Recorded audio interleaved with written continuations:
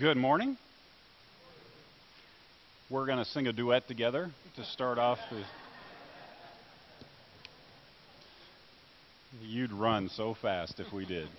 well, we've been in this series called Walking, and um, it comes out of First John, and we've been doing this for about four weeks now.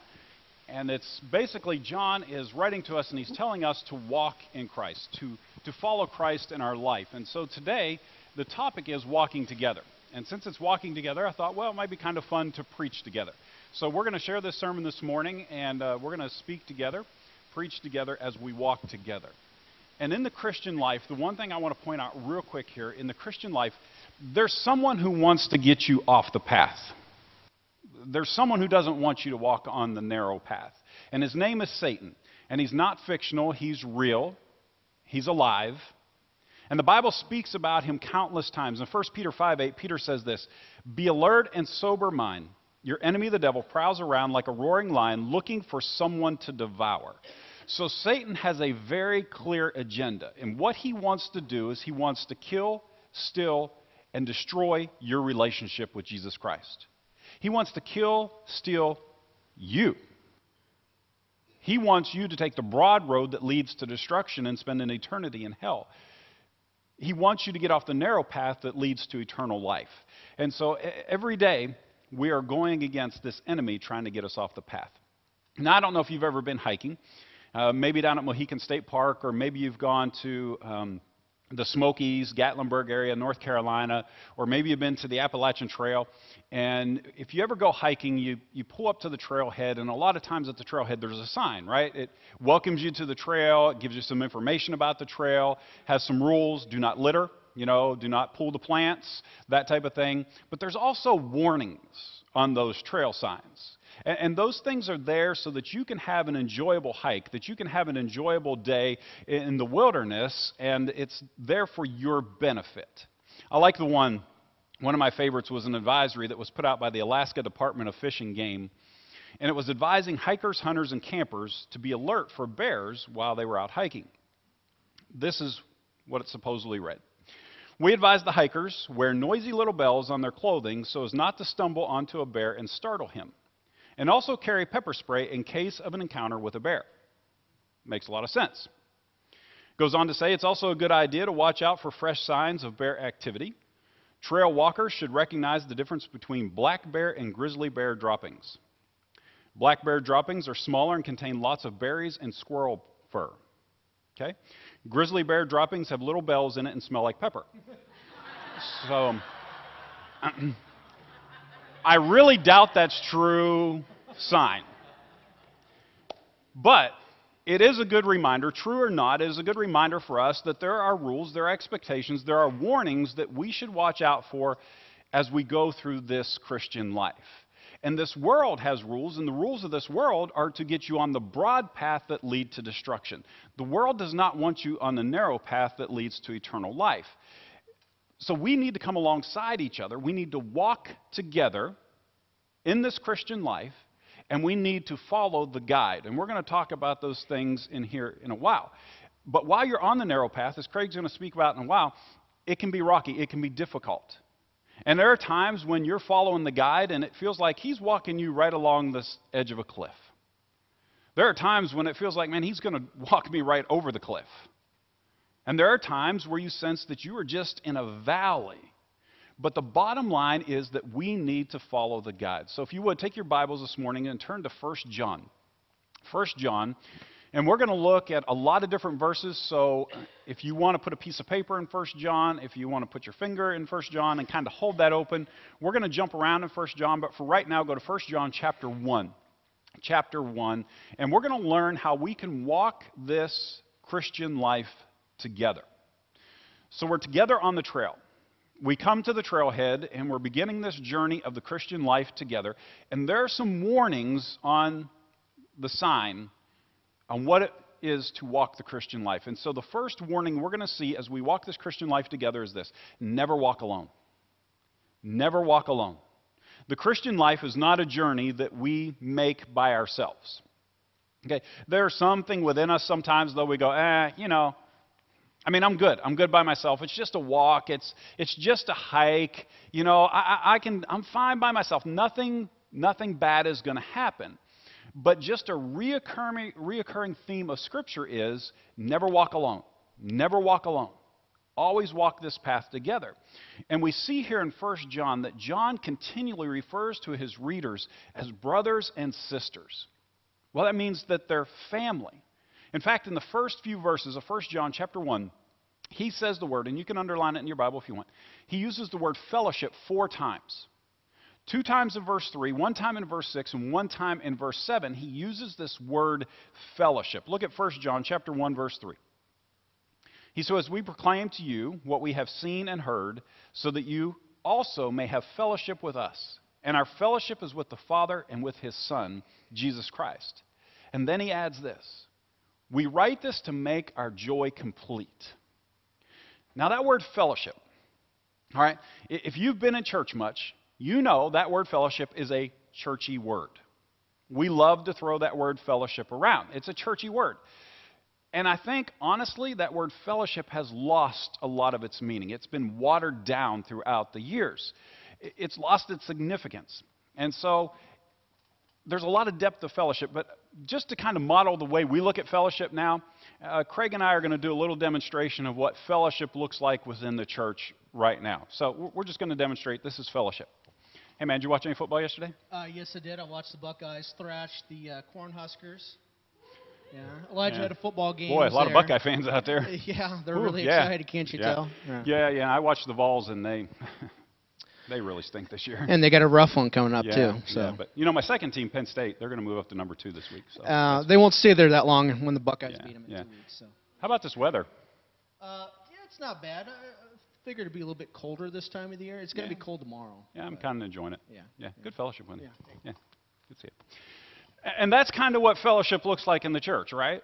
I mean, we, we go through this, we, we pass people in the church parking lot, we wave, we talk to them in the foyer, and it's like, hey, how you doing? Did you watch the game? How about those Indians? Yeah, yeah, they stink too. You know, and so it's just, it's just, you know, hey, good fellowship with Christians today, right? And that's kind of the way we go about it. But there's a, this word has so much more significance to it than that. And it comes from the Greek word koinonia, koinonia, and which literally means sharing something significant in common. And, so it's something significant. In fact, we come together in spite of our differences. In spite of the fact that we are from different backgrounds, we come together because we have this one great thing in common. I was talking to a person not too long ago, and I was talking to him about what it meant to be a member of the church and what it kind of looks like and, and what it means. And he basically, you know, had been attending a while, and he said, you know, I really don't, I don't really want to become a member of a church because I really just see it nothing more than becoming a member of a country club or a social club. But that's not, that's not what the church is. When we talk about becoming a member of the church, we're not talking about a club, we're not talking about a social organization, we're talking about becoming a member of the family. A body of Christ that together in 1 John 1 3, he says, we have fellowship with one another because of the Father which makes you and me brothers and sisters in Christ, which means we are a family. So we come together because we have this one great thing in common, and that one great thing is God the Father. We have that in common. And one of the things I've discovered and, and I've seen in people is oftentimes they scoff at this rule never walk alone. And over the years, I've had countless people look at me and go, Well, you know, Wes, I can worship God driving down the road.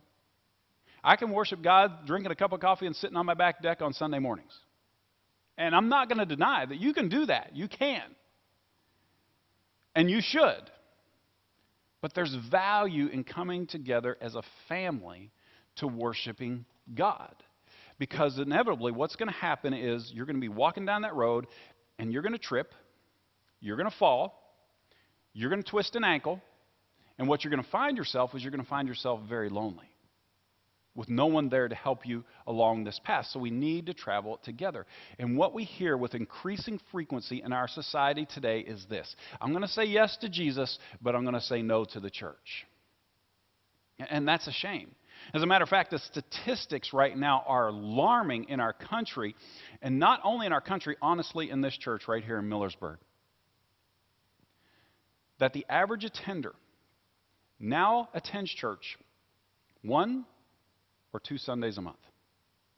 You know, it, it used to be that the family would get together and they would plan other things around Sunday morning worship. Now the family gets together and they plan everything else and go, oh, looks like we can squeeze church in this Sunday.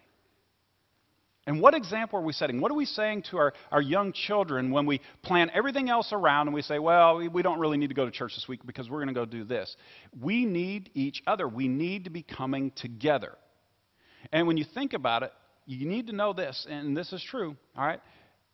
Community. This is where we, we, we we experiencing. And a lot of people, you know, they stray away from church because they had a bad church experience or you know, something went wrong or they see the warts of the church and so they just they just want to stay away from the church, but they're missing out. And I know several people who watch the sermons on YouTube, you know, but I, I would love to see them dive in dive into this community. And I'm glad they watch them. I really am. That's why they're there, and I'm glad people watch it. But there's something about community and coming together and worshiping together and being on this journey together. And when you think about it, the church will always be imperfect. We're always going to be imperfect. But our head of the church, Jesus Christ, he is perfect. And he always will be. And so we come together, and when we come together, we're surrounded by other Christians. We realize that we are on this journey with other people who are like minded, and we have this in common. Now, it's interesting. In verse 3, John points out, he says, We write this so that you'll have fellowship with us. And then in verse 4, he adds that we write this to make our joy complete. So it's this idea that if we follow Jesus, we'll have joy. There's joy in following Jesus. But he adds, he says, our joy is complete when we follow Jesus together when we do it together. That's what we're made for. One of the preachers I studied when I was in college was a man by the name of Fred Craddock. And Fred Craddock um, tells of his father, who wasn't a Christian. As a matter of fact, he was very skeptical of the whole church thing. And Fred had tried to get his dad to come to church for years. He wouldn't go to church. Other preachers tried to get Fred's dad to go to church, and he just always had the same excuse, always had the same reason. He said, Well, you know, all you want is another name on the membership roll and another dollar in the bucket. All right. And so they had no luck with this guy. But then he became very ill. And he had to have a serious surgery where he had part of his throat removed. And he could no longer talk, and he had withered away to about 74 pounds. And that's when he began to discover the love of the church. The people of the church began to show up at his house bringing meals and cards and flowers. They were coming to visit this man who had never attended the church. They were praying with him. And the last conversation Fred had with his dad, he had taken a stack of cards from the people of the church and he took them to his dad, and his dad sat there and he read through the cards, and then he took a piece of paper and a pen and he wrote down the words of Shakespeare's Hamlet, and he wrote this. He said, In this harsh world, draw your breath in pain to tell my story. And he handed that to his son. And Fred read it, and then he said, Well, well, Dad, what's your story? And he took the pen and the paper back, and he wrote, I was wrong. I was wrong. Listen, don't get down the path to a point where you have to say, I was wrong. We walk this journey together. Come to realize you need help now, and we walk together. We were never meant to travel this road alone. When God created this earth, he created Adam. And what did he say? It is not good for man to be alone. And so he created a helper suitable for Adam. We were made for koinonia, for fellowship, for the needing for one another. We dare not walk this path by ourselves.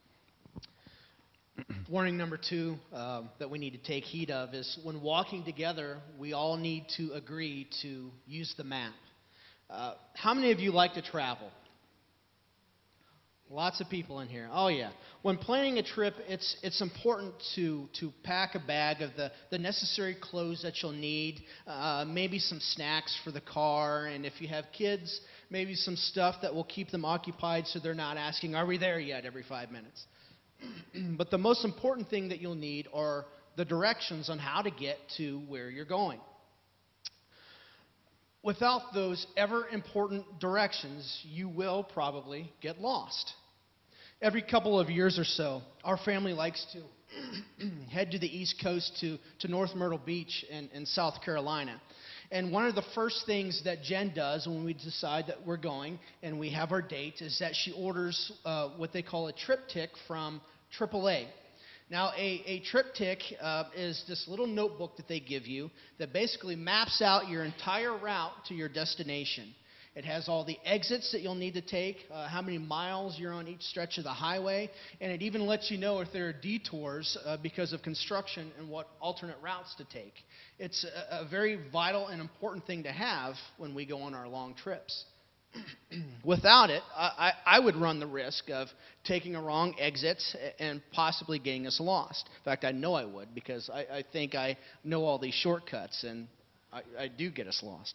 Uh, but even as a kid, I remember my, my, my dad would, you know, get out his big Rand McNally roadmap. You guys remember those things? Oh, yeah, they were huge.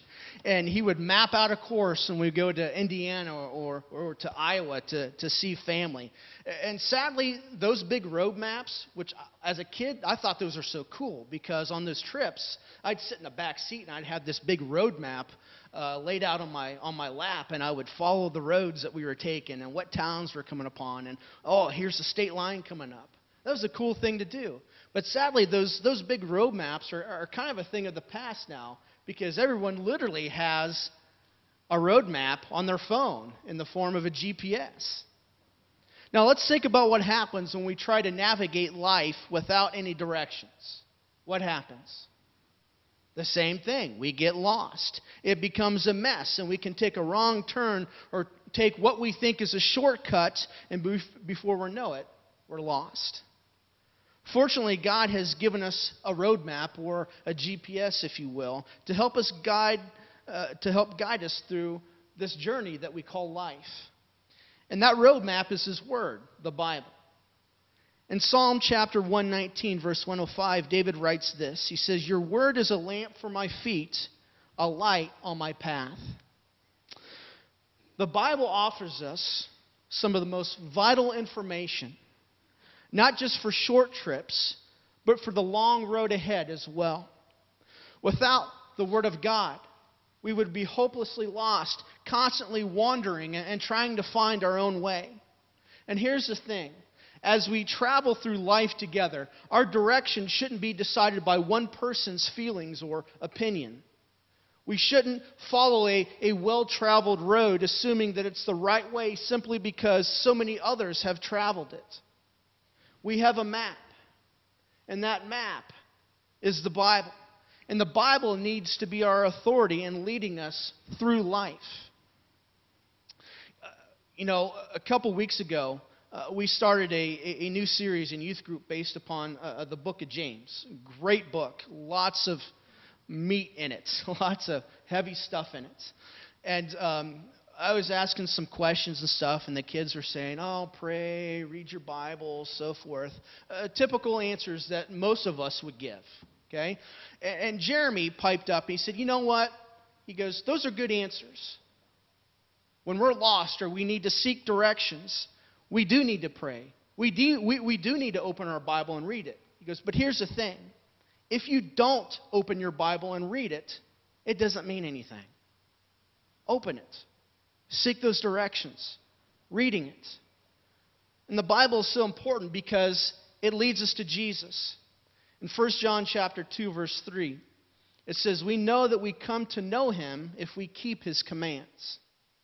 If we are obedient and following God's roadmap, then our journey leads us to Jesus and to eternal life. And if you jump ahead to chapter 3, verse 24, it reads, The one who keeps God's commands lives in him, and he in them. And this is how we know that he lives in us. We know it by the Spirit he gives us. Most of you in here believe in Jesus, and you read your Bible and you try to follow it to the best of your ability every day.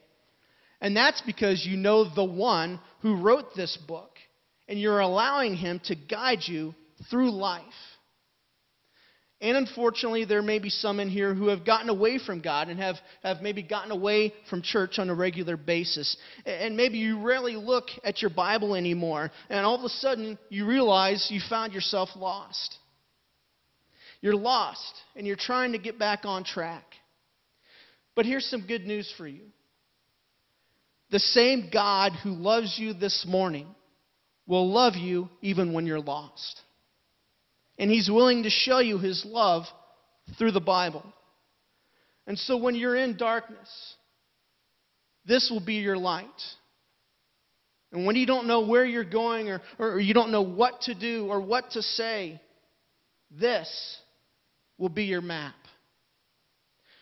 This book is our roadmap to heaven. Live by these words, and you'll never stray from that path. Ignore these words, and you'll wander far away from God's plan for your life. And the author of this book will travel with you. Look to him, listen to him. The one who wrote this book is the one who loves you the most. Warning number three is we're walking on this path is always walk during the day. Walk during the day. There's a lot of value to that. I mean, I got a wife, I have daughters, and when my daughters were in high school and they had these jobs at the mall or in restaurants, I'd always tell them if they were working the night shift, hey, when you go out to your car, make sure somebody walks with you to your car. Always walk with somebody, like Jeremy was talking about earlier. And, and then there was Heidi. I mean, when she was running, she loved to go running after dark and she'd do that a lot of times by herself and i never liked that i mean i never liked that because because the reason is there's more safety in light than there is in darkness. If you look in your bibles at 1 john chapter 1 verses 5 through 7 it says this. This is our theme verse for the whole series too. It says god is light and in him there is no darkness at all. If we claim to have fellowship with him and yet walk in the darkness we lie and do not live by the truth. But if we walk in the light as he is in the light, we have fellowship with one another, and the blood of Jesus, his son, purifies us from all sin. So we need that light to maintain fellowship. Now, there's nothing wrong with having friends outside of the church that are non Christians. As a matter of fact, I encourage you to do that. You know, yesterday I spent some time with my mountain bike club. None of those guys in my club are Christians. That's my, you know, evangelism field right there. As I'm trying to form a friendship with these men. And it's okay to have a close friend that's not a Christian. But when you're talking about koinonia, when you're talking about that true fellowship, it happens with those who are fellow believers. Because when you have a close fellow believer and you have that koinonia with that person, there's no masks. You take off the masks, you're real with one another. There's no secrets, there's no hiding anything, there's no lies. It's just being with one another in the truth. There's no deception. You are moving away from sin. Do you remember Christ's observation on the night that he was arrested and betrayed in the Garden of Gethsemane? Uh, you remember there was this mob uh, that came after him. It was a very volatile time. I mean, this huge mob that came to find him, and they find Jesus in the garden. And when they do, Peter, you know, being Peter, he gets all riled up and he starts to fight on behalf of Jesus. And he cuts off this soldier's ear. Jesus is like, no, no, no, no, stop. And he I guess, puts the ear back on this guy. I mean, I'd love to see that played out. But, you know, he, he heals this soldier right there in front of him. And then he looks at this mob that came to arrest him. And he looks at them and he says, Am I leading a rebellion that you come at me with clubs and swords? He says, Every day you saw me in the temple courts teaching, and you never talked to me. You never laid a hand on me. And then he said this This is your hour when darkness reigns. Have you ever noticed how we're more prone to toy with temptation at midnight than we are at noon? Why is it that we dabble with the darkness and we find ourselves a little bit freer when it's dark than in a setting when it is light? Why is a, a nightclub darker than a Bell store gas station? It's always a little bit darker. It's because there's this maze of destruction, these decisions that take place when we are walking in the darkness as opposed to walking in the light. We need people in our lives who are willing to say, Look, here's the light. You're starting to stray. You're starting to get into the darkness. Here's the light. These people that will hold us accountable. We need each other. There's a phrase, and I think it came out of Alcoholics Anonymous, and it, it says this You're only as sick as your secrets. And your secrets, they thrive and they germinate in the darkness. And so the challenge is to find someone that you can walk together with in the light who will help point you in the light. And when you start to get on that fringe and, and you're about to fall off into the darkness, that person can point you back into the direction of the light, back on the narrow path. We need these people to walk together with, and that's why we walk together. As we walk this life together, we're going to hit some very rough parts of the trail. Uh, there are parts of this trail that are smooth, that are flat, uh, uh, easy, very much enjoyable to travel. Uh, and that's when walking through life is fun. Unfortunately, we live in a broken and a fallen world, and because of that, there are parts of the trail that are rocky, that are, that are flooded, that are uphill. Um, and that's the thing about walking through life. Trials will come. In James chapter 1, it talks about how we will all experience trials and, and temptations and how we should go about handling each one. And in John 16, verse 33, Jesus himself says, In this world you will have trouble. Whether it's a, a health crisis or uh, financial problems, a heartache from a from broken relationship, rest assured, whatever it is, that, that sometimes the path can get pretty rough. And sometimes it may seem that there's no possible way to travel through. And because of this, we have to be prepared for difficult terrain. Part of being prepared for the obstacles that life throws in our way is walking together. See, there's a reason that God created Eve for Adam. He created her to, to be a helpmate to him. He didn't create Eve to be a servant for Adam, but someone who could walk through life with him and celebrate the joyous occasions of life and, and endure the hardships of life together. That's why Paul mentored Timothy. Paul was able to invest in this young man, Timothy, and he was able to, to show him the ropes of ministry and, and help prepare him for life. And when they went their separate ways, Paul still kept tabs on Timothy, encouraging him as Timothy started his own ministry. The bottom line is this God does not intend for us to go through life alone. That's why he puts people in our lives so that we can have someone to celebrate the good news with and, and have that critical support when the going gets rough. I want to give you two more ways in how we can find strength in the midst of difficult times. First, instead of trying to avoid suffering, learn from it and grow from it. Learn from it and grow from it. Uh, keep in mind that, that, that God is more interested in making you holy than he is making you comfortable. Because holiness has an eternal value to it.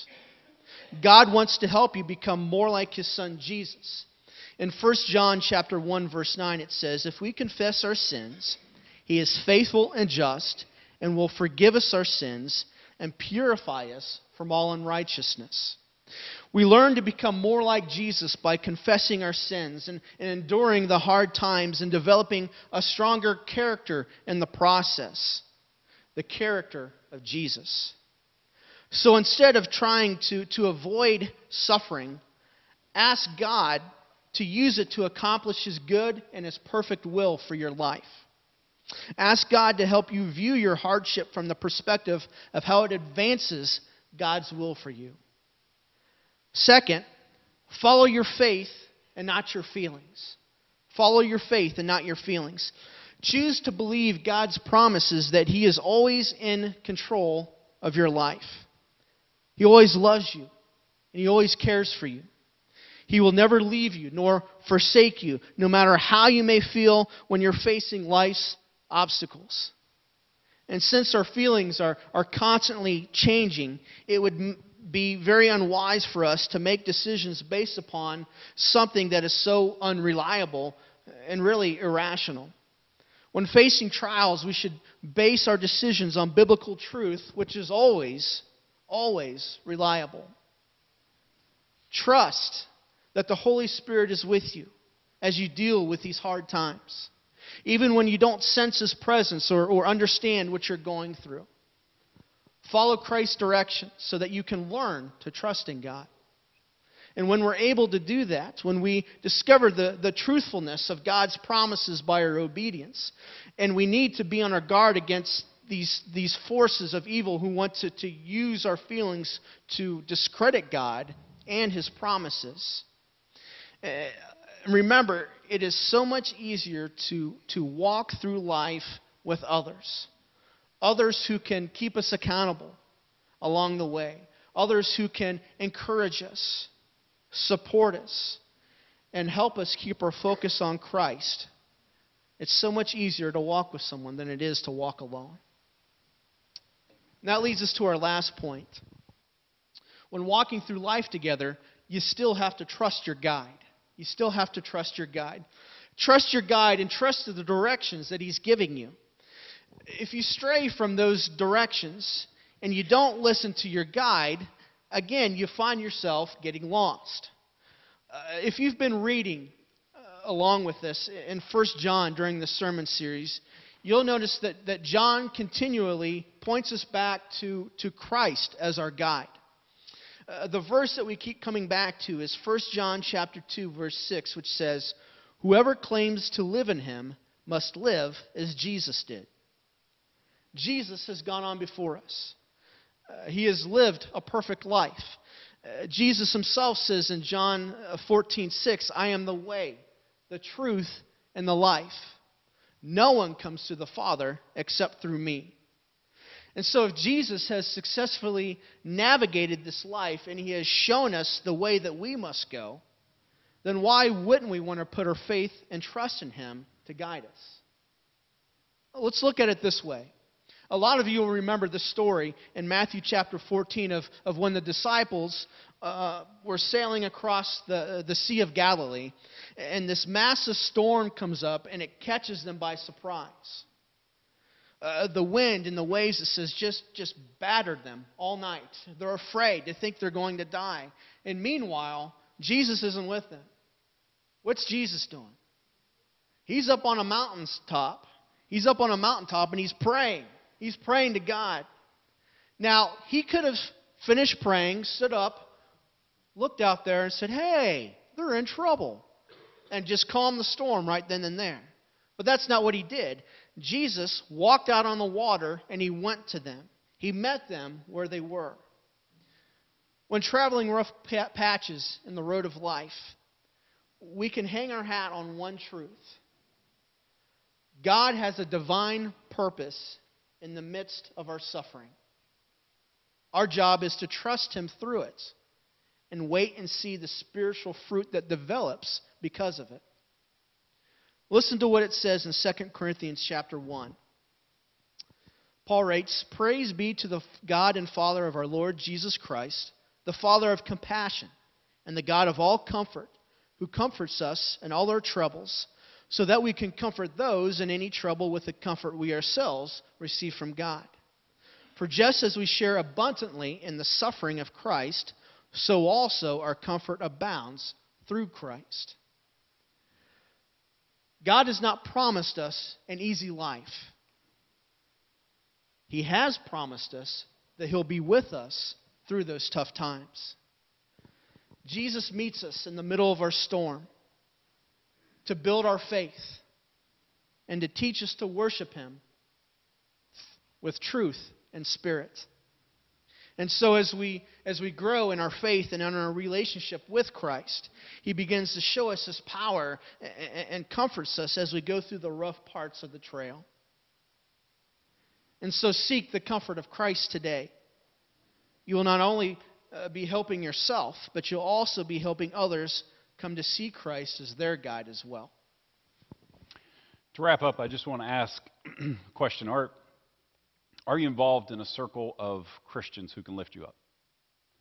Uh, Jeremy already kind of encouraged you to do that, but in a small group, a Sunday school class, a men's Bible study, a women's Bible study, are you involved in a small group, a group of Christians that can help walk with you, to, to do life with you, to lift you up, to walk alongside of you? Do you have someone special, another believer in your life that you can walk this journey with? I've been blessed each town that I move into or church I go to, I try to find someone that I can do life with, someone that I can be accountable with.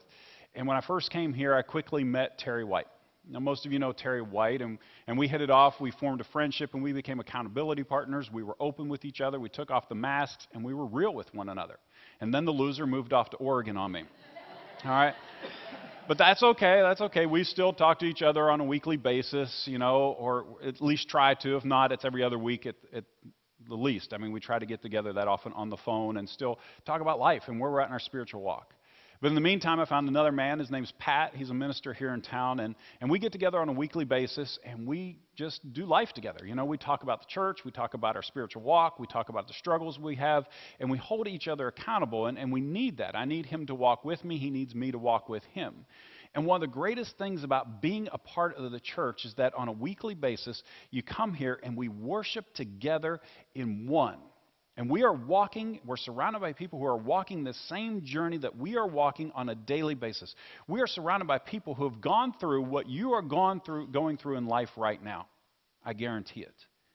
And I love when I stand out here in the foyer and I hear the different conversations taking place and I get to eavesdrop in on them. And I hear these two talking over here and I hear them say, Hey, would you pray for me about this? And I hear this conversation over here and they're saying, Hey, we need to put attention on this. And I hear someone over here say, You know, we need to encourage this person. We need to, we need to help them out. And I see people coming alongside. They're coming alongside of you, they're coming alongside of me, and we're walking together. We're helping each other out in this journey. So understand, there will be times when it gets tough. It's a rocky road, it's a narrow path, it's a tough path to go on. And we are surrounded by people who are going to walk this journey with us. And like Craig said, trust your guide. One of the words, the Greek words for Jesus in the Bible that I love is the Greek word prodromus. Prodromus. And prodromus literally means the one who has gone before us the one who has gone before us. And I would just encourage you to put your trust in Prodromus, Jesus, the one who has gone before us. I mean, if you were going out on a difficult climb, or if you were going out on a difficult hike, would you not want a guide who's been there before? I mean, wouldn't you have a whole lot more confidence if you're heading out on this difficult hike, knowing that your guide knows where you're going? He's been there, he's done it, I'd have a lot more confidence in that, and it would be a whole lot more enjoyable. And the path is tough. The narrow path is hard. We're not going to sugarcoat it for you. It's hard. But when you have a prodromus, one who has been there before you, it makes it a whole lot more enjoyable. So would you follow your prodromus, Jesus Christ? Let's pray. God, we just thank you for uh, walking with us. Uh, God, I just want to thank you for this family that we have here the church, brothers and sisters in Christ, that we can walk this path together with. Father, I'm just, I'm just thankful to be here in Millersburg with this family, with my brothers and sisters, walking this journey together with them. Sometimes we cry together, sometimes we laugh together, sometimes we mourn together, but we're together. And we need to encourage one another. We need to pray for one another. And more importantly, we need to love one another. So, God, I just pray as a family that we would come around each other and we would, we would practice those one another's that we hear about in Scripture. That we would just love on each other, encourage each other, hold each other accountable. And when we see someone starting to stray and to walk into the darkness, that we would come alongside of them and we would shine the light and say, hey, let's get back on the path we need to be on. And so, Father, this morning, we, I just pray for this congregation. I pray for anyone who's maybe been walking in darkness that they would come back into the light, that they would find a fellow brother or sister in Christ to walk this path with, to get back in the light as you want us to walk in the light. Father, we thank you for leading the way, for being our prodromus, the one who has gone before. And it's in Jesus' name we pray. Amen.